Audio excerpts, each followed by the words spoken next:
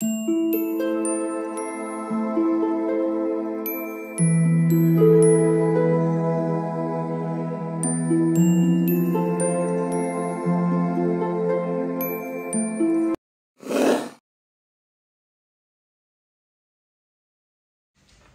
all of you welcome back to my channel मैं आज आप लोगों के लिए लेकर आ चुकी हूँ एक कैंडल वैक्स रीडिंग जिसका टॉपिक रहने वाला है।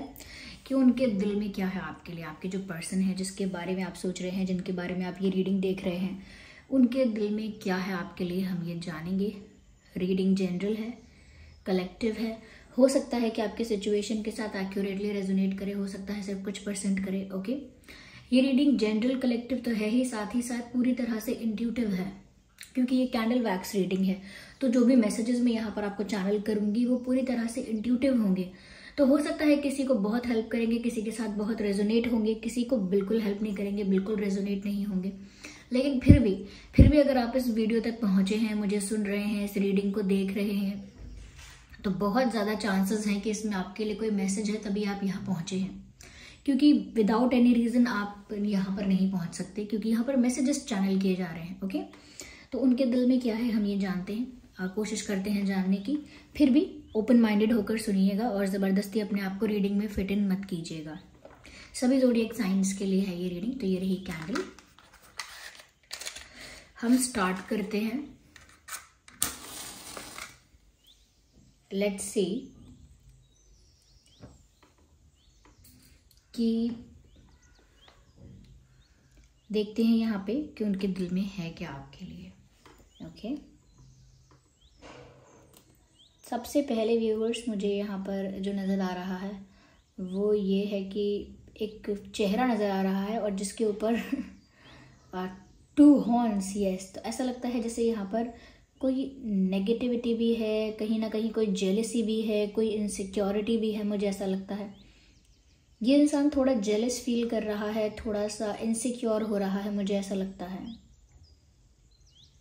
क्योंकि सबसे पहले ही ये मैसेज आया है तो कहीं ना कहीं ये एनर्जी जो है सबसे ज़्यादा प्रोमिनेंट है। करंटली उनकी सिचुएशन में या उनकी एनर्जी में सबसे ज़्यादा प्रोमिनेंट जो है, सबसे ज़्यादा स्ट्रॉन्ग जो मैं एनर्जी कहूँगी वो है कि वो काफ़ी जेलस हो रहे हैं या काफ़ी पॉजिटिव हो रहे हैं, काफ़ी ज़्यादा इनसिक्योर हो रहे हैं किसी चीज़ को लेकर, क्योंकि आपका अटेंशन किसी और को मिलना या आपके साथ कोई और क्लोज आने की कोशिश कर रहा है, या हो सकता है व्यूअर्स हो सकता है आप लोग जानबूझ के उनको जेलस करने के लिए किसी के करीब आ रहे हैं या किसी के साथ ज़्यादा क्लोजनेस बढ़ा रहे हैं they are not liking it वो तो जेलस हो रहे हैं और कहीं ना कहीं वो जेलसी भी ऐसी है कि उनको गुस्सा आ रहा है। वो वो वाली जेलसी नहीं है कि वो रो देंगे या रो देंगी, उनको गुस्सा आ रहा है। उनको अग्रेसिव फील हो रहा है। नॉट अग्रेसिव पर हाँ गुस्सा आ रहा है उनको ये चीज़ पसंद नहीं आ रही है और अंदर से इनसिक्योर भी हो रहा है इंसान। कहीं ना कहीं अपने अंदर फिर कमियाँ दिख रही हैं इनको इनको ऐसा लग रहा है मुझमें कोई कमी है मैं अच्छा नहीं दिखती मैं अच्छा नहीं दिखता मैं मैं ये अच्छा नहीं हूँ मेरी पर्सनालिटी अच्छी नहीं है या मैं इंसान अच्छा नहीं हूँ या मैं यू you नो know, इतना सक्सेसफुल नहीं हूँ या मैं ऐसी नहीं हूँ या मैं वैसा नहीं हूँ तो कहीं ना कहीं क्योंकि अगर आप उनसे दूर जाते हो या किसी और को टाइम देते हो तो वो अपने अंदर कमियाँ निकालना स्टार्ट कर देते हैं। अपने अंदर यू नो प्रॉब्लम्स ढूँढने लगते हैं और ख़ुद को कहीं ना कहीं कंपैरिजन में कम समझते हैं। फिर उनको लगता है कि शायद उनके अंदर कोई कमी है या उनके अंदर कोई ऐसा आ, कुछ ऐसा है जिसकी वजह से आप उनको शायद पसंद नहीं कर रहे हैं या किसी और को आप क्लोज आने दोगे तो इनको उस बात से बहुत जेलसी होगी क्योंकि कहीं ना कहीं ये इंसान अपने दिल में ऐसा फील करते हैं कि जैसे इनका एक अधिकार है आप पे, इनका हक है आप पे। तो जेलस तो हो रहे हैं और इनसिक्योर हो रहे हैं। यस यस मुझे यहाँ पर ऐसा भी नज़र आ रहा है व्यूवर्स जैसे बटरफ्लाई दिखती है। तो बटरफ्लाई जो होती है, वो हमेशा ट्रांसफॉर्मेशन को दर्शाती है। कि सिचुएशन अगर कोई ट्रांसफॉर्म हो रही है, बदल रही है, इनके जो दिल की स्थिति है, इनके जो दिल के इमोशंस हैं वो भी बहुत ट्रांसफॉर्म हो रहे हैं और इनकी जो सिचुएशन uh, है या इनकी जो फीलिंग्स हैं वो भी बहुत हद तक ट्रांसफॉर्म हो रही हैं। तो इस ट्रांसफॉर्मेशन का मतलब यहाँ पर ऐसा ही है व्यूवर्स कि इमोशनली ये इंसान काफ़ी चेंज हुआ है या हुई है क्योंकि ऐसा लगता है कि जिस तरह की जेलेसी और पॉजिटिवनेस अब आपके लिए फील हो रही है इनको शायद पहले नहीं हो रही थी। Yes earlier they were not that positive और जेलस अबाउट यू इतना ज़्यादा जेलस नहीं थे। आ, लेकिन अब ज़्यादा जेलस हो जाते हैं अगर आप कहीं और अटेंशन देते हैं या कोई और आपके करीब आता है या आपसे फ्लर्ट करता है या आपको यू you नो know, आपके साथ हैंग आउट करने की ज़्यादा कोशिश करता है कोई they just do not like it they don't like it तो इसी वजह से भी अब उनके जो प्यार की इंटेंसिटी है या प्यार जितना भी था वो बढ़ गया। उनका जो दीवानापन है या जो कहीं ना कहीं आपके लिए तड़प है वो सब बढ़ गया। वो ज़्यादा हो गया और वो ज़्यादा जैसे जैसे होता जा रहा है जैसे जैसे ये चीज़ें बढ़ती जा रही हैं इमोशनली इनकी सिचुएशन ट्रांसफॉर्म होती जा रही है। एक केयरलेस यू नो एक केयरलेस पर्सन से ये एक सीक्रेट एडमायरर बनते जा रहे हैं सीक्रेटली एडमायर कर रहे हैं या फिर एक पैशनेट लवर बनते जा रहे हैं या बनती जा रही हैं। Yes from a careless person to a passionate lover from a careless person to a not a careless person about life but careless about their feelings वो केयरलेस थे अपनी फीलिंग्स को लेकर केयरलेस थे इस रिश्ते को, इस कनेक्शन को लेकर। तो उस केयरलेसनेस से अब जाकर ट्रांसफॉर्म हो रहे हैं एक पैशनेट लवर में, एक रोमांटिक इंसान में। यस तो ऐसा यहाँ पर दिख रहा है। Yes I can see again मुझे बटरफ्लाई दिख रही है तो व्यूअर्स बहुत ज़्यादा इस इंसान की फीलिंग्स में चेंज आया है। इनकी सिचुएशन भी बहुत बदली है, इनके इमोशंस भी बहुत हद तक बदले हैं, बहुत ज़्यादा। या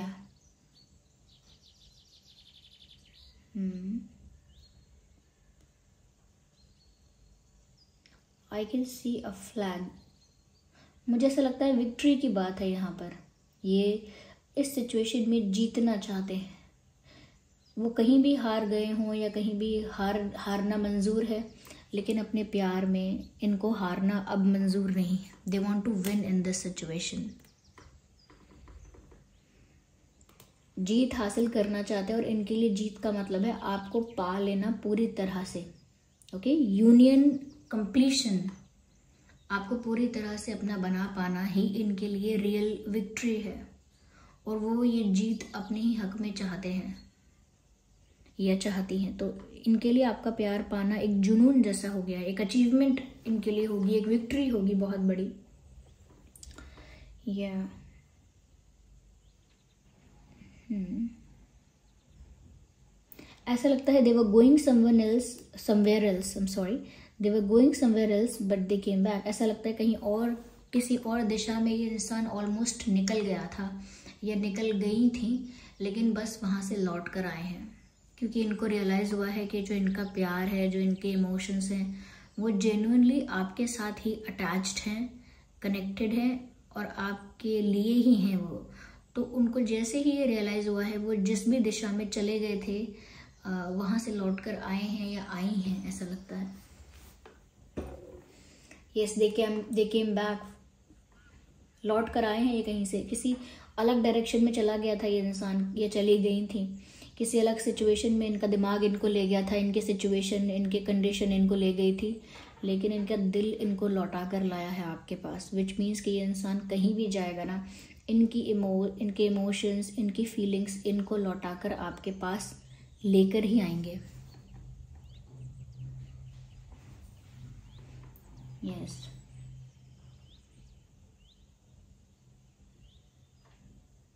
हम्म हम्म मुझे यहाँ पर ऐसा लगता है कि जैसे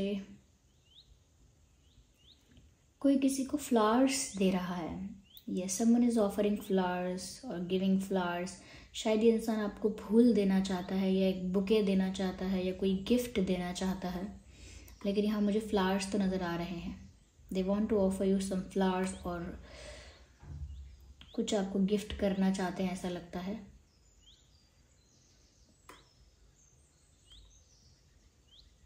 ओके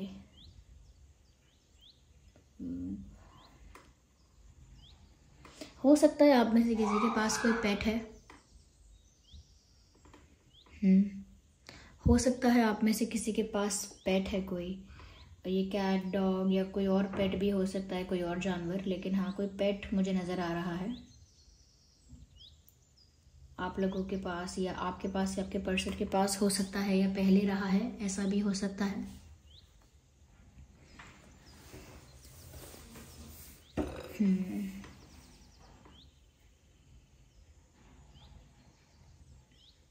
यस yes, ऐसा लगता है कि जैसे ये इंसान आपको किस करना चाहते हैं। Yes because in this picture ऐसा लगता है किसी ने किसी को पिक किया हुआ है and they kissing each other if you can see that clearly no you can see ऐसा लगता है किसी ने किसी को उठाया हुआ है और उठाकर किस किया हुआ है। जस्ट आई होप नहीं दिख रहा।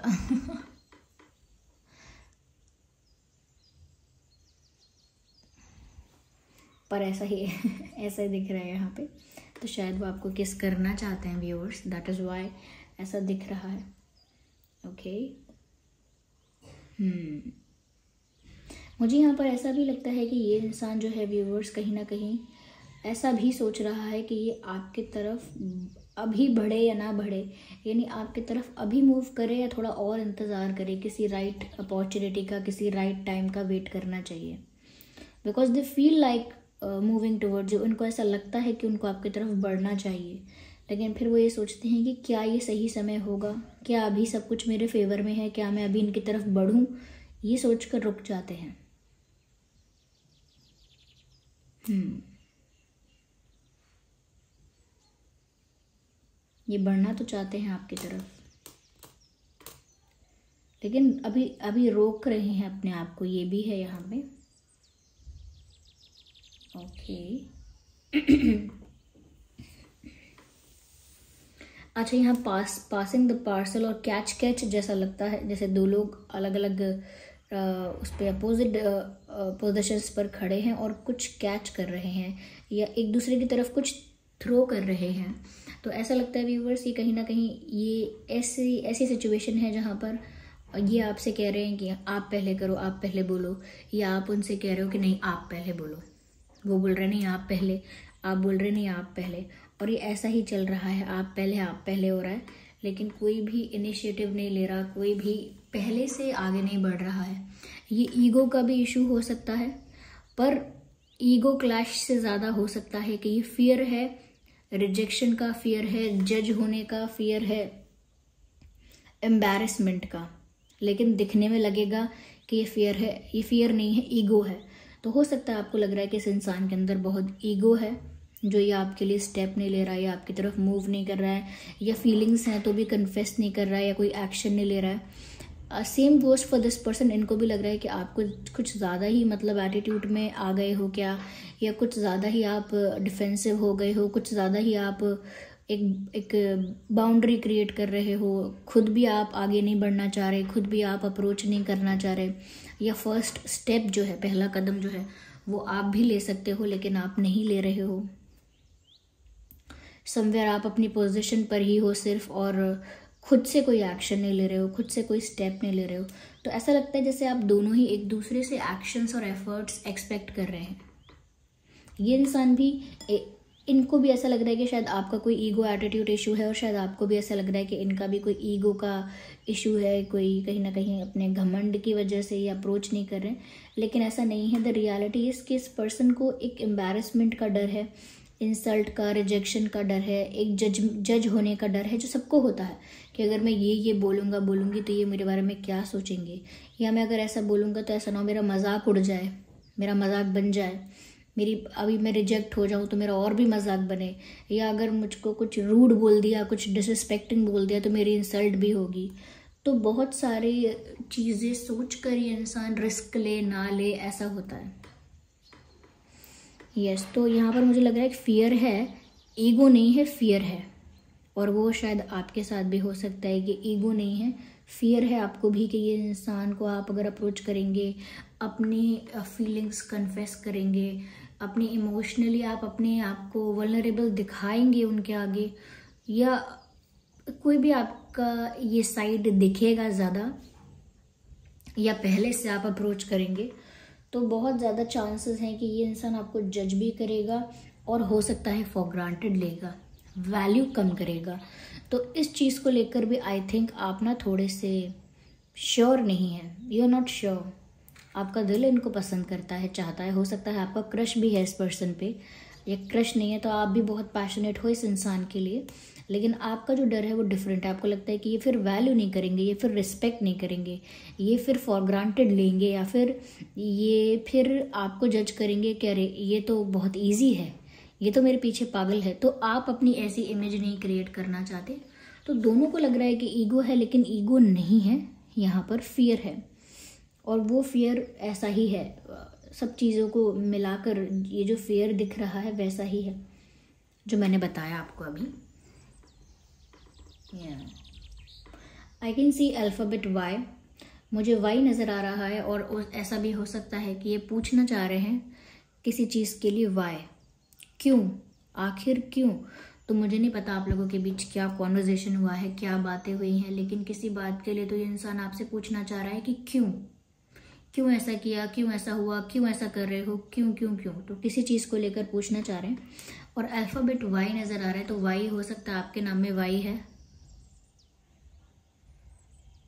हो सकता है उनके नाम में वाई है। एस हम्म, हो सकता है। आप लोगों में से किसी के नाम में एस हो सकता है वी हो सकता है। एस वी आई हो सकता है। S V I. Okay S V I what this B हो सकता है बी फॉर बॉल। बी हो सकता है। यू हो सकता है, यू यू एंड ई हो सकता है, ई ई फॉर एलिफेंट ई हो सकता है and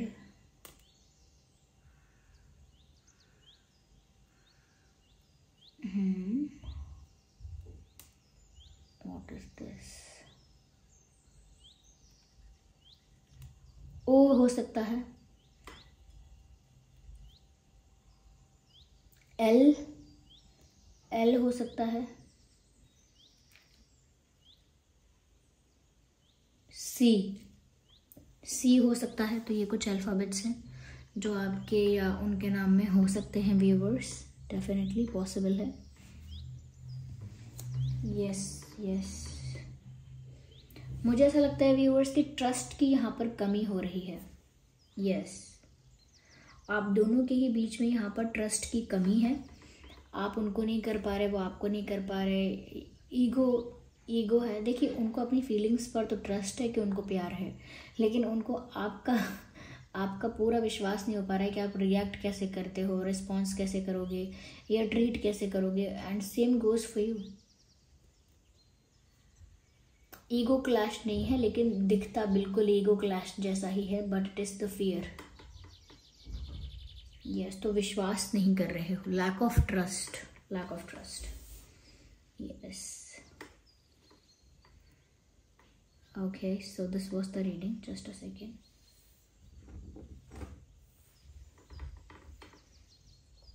चलिए, हम यहाँ पर कुछ डिवाइन मैसेजेस लेते हैं आपके लिए व्यूवर्स कि डिवाइन क्या गाइड कर रहे हैं आपको इस सिचुएशन में? क्या डिवाइन गाइडेंस है यहाँ पे?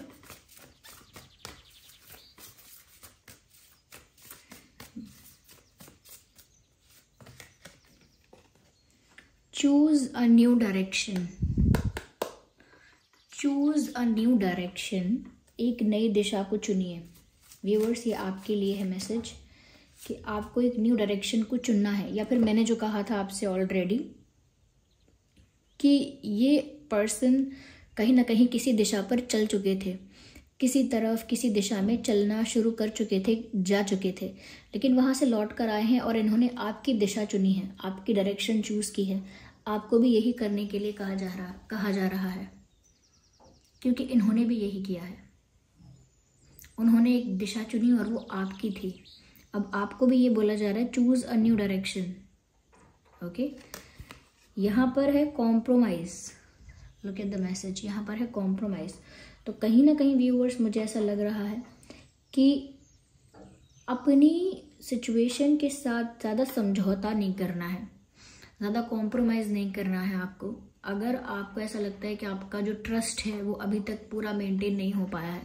अगर आपको लगता है अभी भी आपको कोई डाउट है, अगर आपको लगता है कि अभी भी ये इंसान चेंज नहीं हुआ है, या आपको लगता है कि अभी भी इनकी लाइफ में किसी और का इन्वॉल्वमेंट है, जब तक आप सेटिस्फाइड नहीं हो जाते, तब तक आप कॉम्प्रोमाइज़ मत कीजिए। कोई नया हल निकालिए, कोई नया रास्ता निकालिए। एक नए डायरेक्शन को चूज़ कीजिए। ऐसा मत सोचिए कि ए और बी में से ही मुझे कुछ करना है, यानी कि ए और बी पर्सन नहीं। ए और बी मतलब या तो ए सोल्यूशन है या बी सोल्यूशन है, ऐसा नहीं। सोल्यूशन सी निकालने की कोशिश कीजिए। यानी एक न्यू पाथवे चूज़ कीजिए, एक न्यू पाथवे क्रिएट कीजिए, अपना अलग रास्ता बनाइए, जो आपको ठीक लगे।